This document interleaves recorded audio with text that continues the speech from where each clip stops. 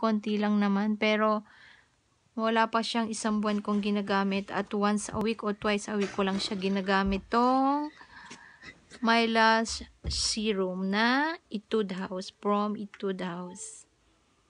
Ayan siya guys. So, ayan manipis siya talaga dito. Pero, inaahit ko siya. Inaahit ko lagi ang kilay ko kasi, ayan, sabog. So, pag gusto kong kumapalagad dyan, naglalagay din ako nito ng serum sa aking tawag dyan, eyebrow. Wala talaga ang pilik mata. Super, as in, marami siya, pero maiksi.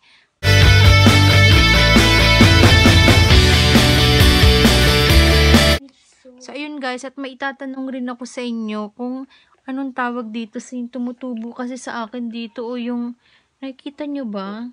Yung parang butlig-butlig dito. Words ba yan? Ayan, pinalaser ko na siya dating nandito. And guys, mahal kasi ng laser dito sa Japan. Yung isang, yung isang ganyan, eto pinalaser ko na to dati eh. Bumalik siya. Yung isang ganito is 1,000 yen. So, magkano yun sa peso? Hindi ko na alam yung 1,000 yung 1,000 yen sa peso. So, ayan, lumalaki na naman. Tapos, yung nandito ko, kahit mag-makeup ako, nakikita siya talaga. Ayan siya. So, ayun, as usual, patulog na kami. Wala akong makeup. At sorry guys, lagi akong walang makeup. Huma wala lagi akong makeup pag humaharap sa camera. So, pasensya naman.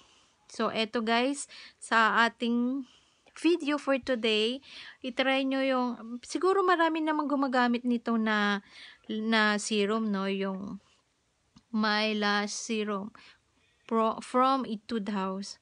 Super ganda niya. Tapos, matipid pa siyang gamitin. As in, pag, kung gusto mo siyang gamitin twice a week, yung ganyan. As in talagang makikita mo, humaba naman siya ng konti. Update ko lang sa inyo yung aking yung aking pilik mata. Dahil natutuwa ako sa pilik mata ko ngayon. Ayan siya guys. Wala, wala kasi akong makeup ngayon. Thank you for watching and oh, in fairness. Ayan. It's, try nyo. Mura lang naman siya eh. Wala, wala bang, wala pa atang 1,000 yen, I guess. Ayan siya. Bye!